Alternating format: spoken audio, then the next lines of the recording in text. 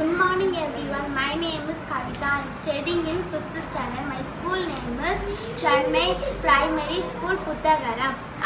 My ambition is to be become a collector.